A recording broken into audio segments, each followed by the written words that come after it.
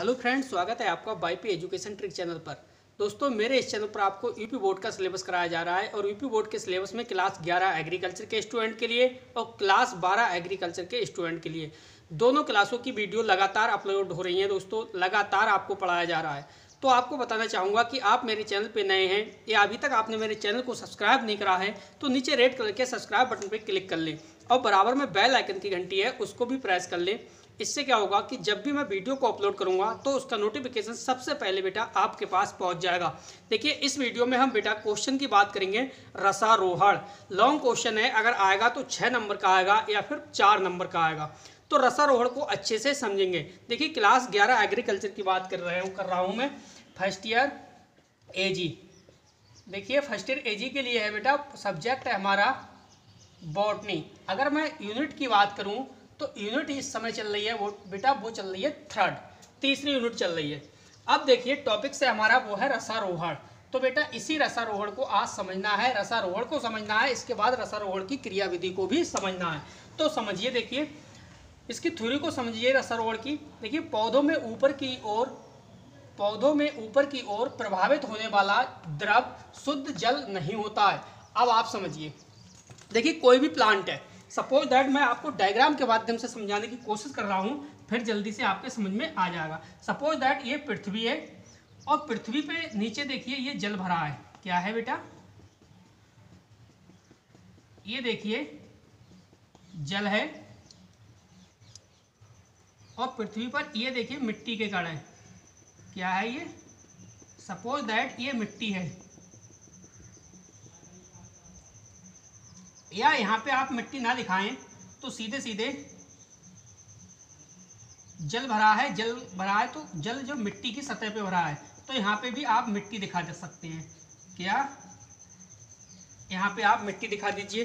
क्या आपको वीडियो दिखाई दे रही है? एक सेकेंड। हाँ अब बिल्कुल दिखाई दे रहा होगा आपको। देखिए, ये सपोज़ दैट आपकी पृथ्वी है, पृथ्वी की सतह है ये। किसकी सतह है? ये आपकी है पृथ्वी की सतह। ये जल भरा है, ये मिट्टी है। ठीक है? और ये आपका देखिए प्लांट है बेटा। ये आपका क्या है? प्लांट है, ये जड़े हैं। पूरी बात समझाऊँगा ए टू जेड आपको। तो वीडियो को बिल्कुल लास्ट तक देखना आप। वीडियो को लास्ट तक देखोगे तो जल्दी आपके समझ में आ जाएगा। देखिए, कुछ इस प्रकार से आप प्लांट बनाओगे। आप किसी प्रकार से भी बना लीजिए। मैं आपको सिर्फ़ समझाने की कोशिश कर रहा हूँ बेटा, ठीक है? आपको समझ में आना चाहिए। बस।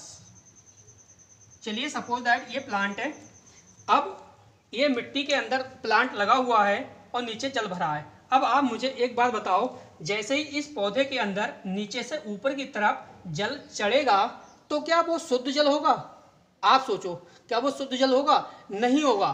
क्यों नहीं होगा? क्योंकि इस मिट्टी के अंदर क्या होगा? बेटा, खनिज तत्व होंगे। क्या होंगे? खनिज तत्व होंगे, यानी कुछ मिनरल्स होंगे, जो क्या है, जल के साथ भी ऊपर जाएँगे। पौधे के प्रत्येक भाग में चले जाएँगे। तो इसके कहने का मतलब बेटा, क्या था कि पौधों में ऊपर की ओर प्रभावित होने वाला द्रव शुद्ध जल नहीं होता। बिल्कुल सही बात है, शुद्ध जल तो नहीं होगा। शुद्ध जल कैसे हो जाएगा? क्योंकि जल है, जल मिट्टी में है। भाई खेत में भरा है या पृथ्वी पर है और उसी पे पेड़ है तो भाई जल के साथ साथ में क्या होगा? उसमें जो खनिज तत्व होंगे, वो भी तो जल में, जल के अंदर प्रवेश कर जाएँगे, मिट्टी में है। तो जल के माध्यम से खनिज तत्वों का भी अवशोषण कर लेगा कौन ये? प्लांट नीचे से ऊपर तक प्रत्येक भाग में चला जाएगा। अब आगे समझिए। देखिए, इसमें अनेक लवण मिश्रित होते हैं, बिल्कुल सही बात है, जो मैंने कहा आपसे साल्ट अनेक लवण अनेक लवण मिश्रित होते हैं, बिल्कुल मिक्स होते हैं, बहुत सारे लवण होते हैं, कई प्रकार के। तो अनेक लवण मिश्रित होती है, अतः ये एक तनु विलयन है। कि क्या कह दिया? ये एक तनु विलयन है जिससे रस कहते हैं। जिसे हम क्या कहते हैं बेटा? रस कहते हैं। इस रस द्वारा जड़ों से पौधों के विभिन्न भागों तक स्थानांतरण की प्रक्रिया को हम क्या कह रहे हैं? रसारोहण कह रहे हैं। अब मेरी बात आराम से समझिए आप। बिल्कुल समझ में आएगा। समझिए। देखिए, आपने कहा आपने कहा कि ये पौधा है। पौधे के ऊपरी, ऊपर की ओर, पौधे के ऊपर की ओर बहने वाला द्रव है, वो जल शुद्ध नहीं होता। बिल्कुल सही बात है, शुद्ध जल नहीं होता। क्यों नहीं होता? क्योंकि इस मिट्टी के अंदर अनेक लवण मिश्रित हैं या अनेक खनिज तत्व मिश्रित है, ये बोल सकते हो। तो इसमें अनेक लवण मिश्रित है, इसलिए इसे हमने क्या कह दिया बेटा? इसलिए इसे हमने क्या कह दिया? तनु विलयन कह दिया। अब इसी तनु विलयन को हमने क्या कह दिया? रस कह दिया। क्या कह दिया? रस कह दिया। इसी तनु विलयन को हमने क्या कह दिया? रस, जिसे हम रस कहते हैं। अब आप एक बात स्वयं स्वयं एक बात समझो। कि जब ये रस नीचे से ऊपर तक जड़ों के से, जड़ों से पौधे के इस प्रत्येक भाग में, यानी पौधे के प्रत्येक भाग में ये तना है आपका, इस तने के अंदर, ये पत्ती के अंदर, और ऊपरी भाग शीर्ष, यानी पुष्प के अंदर। ये सभी नीचे से पौधे के प्रत्येक वायवीय भाग में जब जाएगा तो ये प्रत्येक वायवीय भाग के अंदर पहुँचने की क्रिया को बेटा हम क्या कह रहे हैं? रसारोहण कह रहे हैं। अब मेरी बात को आपने ध्यान से समझ लिया होगा। देखिए, फिर से समझाता हूँ एक बार। देखिए बेटा, पौधों में, पौधों के अंदर नीचे से ऊपर की ओर होने वाला जल या द्रव शुद्ध नहीं होता। क्यों नहीं होता? क्योंकि इसमें अनेक प्रकार के क्या होते हैं? खनिज लवण मिश्रित होते हैं, या कह सकते हो लवण मिश्रित होते हैं, या कह सकते हो खनिज तत्व मिश्रित होते हैं। अतः एक प्रकार का जब मिश्रित होते हैं तो एक प्रकार का ये क्या बन जाता है? तनु विलयन जिसे हम क्या कहते हैं बेटा? रस कहते हैं। क्या कहते हैं? रस कहते हैं। और इस रस को जड़ों के माध्यम से पौधे के प्रत्येक भाग में या प्रत्येक वायवीय भाग में या विभिन्न भागों तक पहुँचाने का जो पहुँचाने विभिन्न भागों तक स्थानांतरण की क्रिया, यानी पहुँचने की क्रिया को क्या कह रहे हैं बेटा? रसारोहण कहते हैं। अब बात आपकी क्लियर समझ में आ गई होगी। अब अगले हेडिंग हम पढ़ेंगे, वो पढ़ेंगे रसारोहण की क्रिया विधि। आगे समझिए। चलिए बेटे, रसारोहण की क्रिया विधि को समझिए। देखिए, अगली हेडिंग से हमारी, वो है बेटा रसारोहण की क्रिया विधि। अब इस क्रिया विधि में क्या है? समझिए इसे। देखिए, रसारोहण की जो क्रिया विधि है, उसे समझिए आप। बेटा, रसारोहण की क्रिया विधि को समझने के लिए अनेक मत दिए गए हैं। यानी कुछ वैज्ञानिकों ने अपने अपने मत दिए हैं रसारोहण की क्रिया विधि को समझने के लिए। उन हम मतों को पढ़ेंगे। तो समझिए कौन कौन से मत है? देखिए, वैज्ञानिकों को द्वारा तीन वर्गों में विभाजित किया गया है, इसे रसारोहण के लिए। बेटा, रसारोहण के लिए वैज्ञानिकों के द्वारा तीन वर्गों में डिवाइड किया गया है और तीनों मत है, वो अलग अलग वैज्ञानिकों ने दिए हैं अलग अलग वैज्ञानिकों के मत है। तो सबसे पहला है देखिए जैविकवाद दूसरा भौतिकवाद तीसरा है मूलदाबवाद का सिद्धांत। तो बात समझ गए?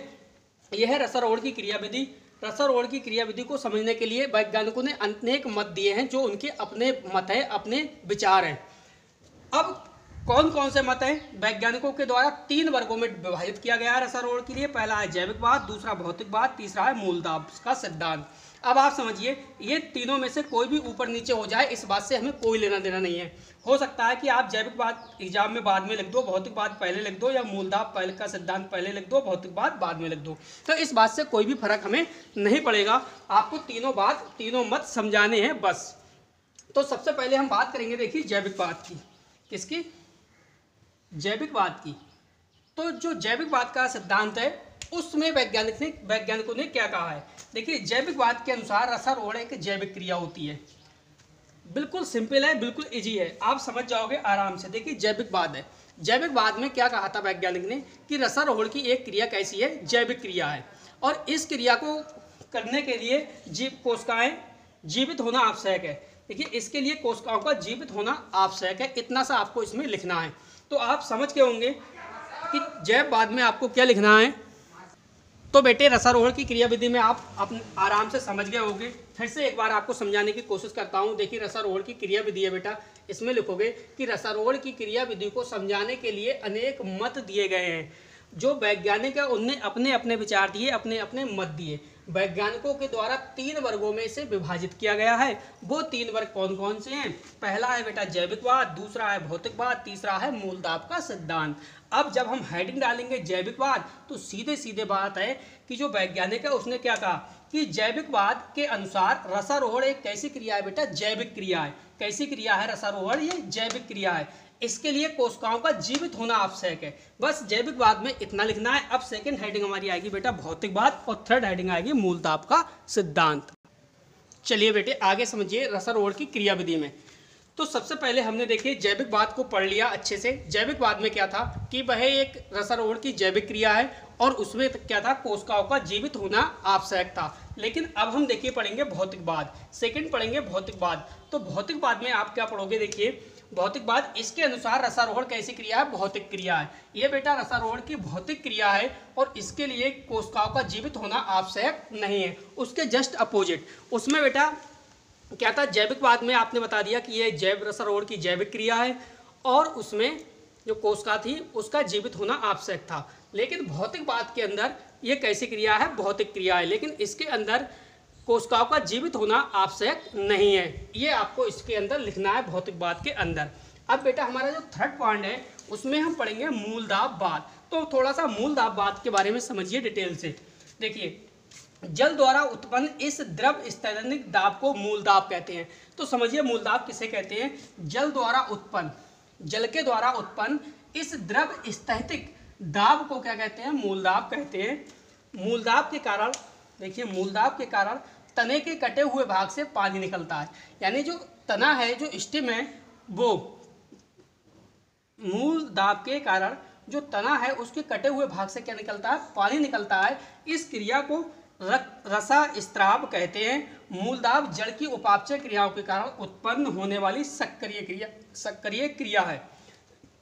मूलदाब जड़ की उपापचय क्रियाओं के कारण उत्पन्न होने वाली कैसी क्रिया है? सक्रिय क्रिया है। और बेटा, इस क्रिया के लिए जड़ों का जीवित होना आवश्यक है। ये देखिए, रसारोहण हमने पढ़ लिया। रसारोहण की परिभाषा को जाना और रसारोहण की क्रियाविधि जानी। रसारोहण की क्रियाविधि देखिए अलग अलग वैज्ञानिक थे जिन्होंने अपने मत प्रस्तुत किए। उन्होंने तीन सिद्धांतों का वर्णन किया। पहला सिद्धांत हमारा था जैविकवाद दूसरा हमने पढ़ा भौतिकवाद और तीसरा हमने पढ़ा मूलदावाद ये था हमारा रसारोहण। अब देखिए दो वैज्ञानिक और हैं जो हैं डिक्सन और जॉली।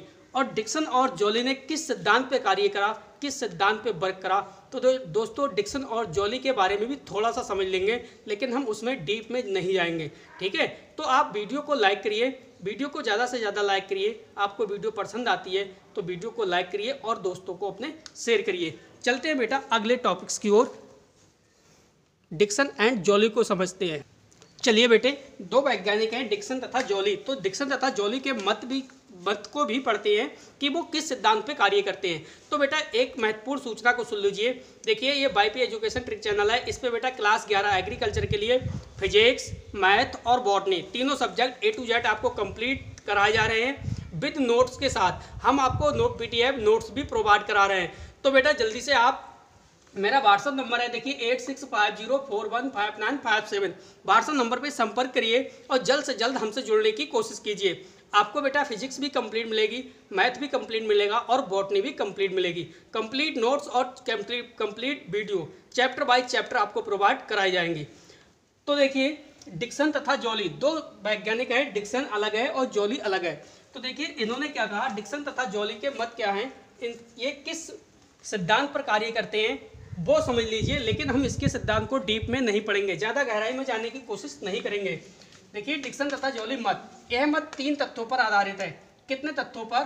तीन तथ्यों पर। वो तीन तथ्य कौन कौन से हैं जिस पर ये वर्क करता है? देखिए, पहला है हमारा, वो है जाइलम बहकाओं में जल का अटूट स्तंभ होता है। जो जाइलम बहकाएँ हैं, उसमें जल का क्या है? अटूट स्तंभ होता है। सेकंड वर्क करता है। सेकंड सिद्धांत पे देखिए कौन सा है? मत कौन सा है? जल अणुओं के मध्य शक्तिशाली ससंजन जल बल होता है। यानी जल अणुओं के मध्य शक्तिशाली ससंजन जल बल होता है।